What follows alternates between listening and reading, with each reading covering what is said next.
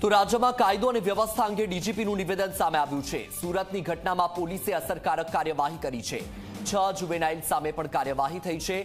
સુરતમાં અઠ્યાવીસ અસામાજિક તત્વોની અટકાયત કરાઈ. ગુજરાત શાંતિપ્રિય રાજ્ય છે. કેટલાક અસામાજિક તત્વો શાંતિ ડહોળવાનો પ્રયાસ કરે છે. રાજ્યમાં ત્રાણું હજાર ગણેશજીની સ્થાપના થઈ છે. તોતેર હજાર ગણેશ વિસર્જન સત્તર સપ્ટેમ્બરના રોજ થશે. કાયદો વ્યવસ્થાની સ્થિતિ પર યોગ્ય સંકલન થયું છે.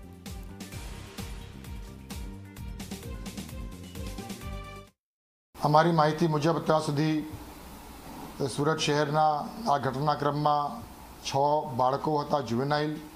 એ લોકોની વિરુદ્ધમાં પણ કાયદાની દૃષ્ટિએ જે કંઈ કાર્યવાહીની કાર્યવાહી કરવાની થતી હોય છે, જુવેનાઇલ્સની વિરુદ્ધમાં, એ કાર્યવાહી પણ થઈ રહી છે.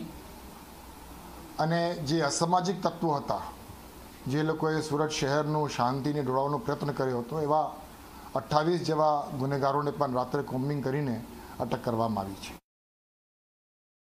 આવતા દિવસોમાં ગુજરાત રાજ્યના અલગ અલગ જિલ્લાઓમાં સોળમી તારીખે ઈદે મિલાદ અને સત્તરમી તારીખે ગણેશજીનો વિસર્જનનું કાર્યક્રમનું આયોજન થનાર છે.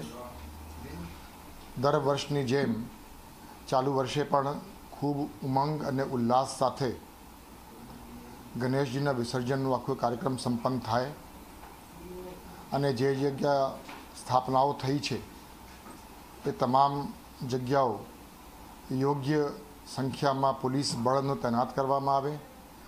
તે અંગેની તમામ તૈયારીઓ કરી દેવામાં આવ્યું છે.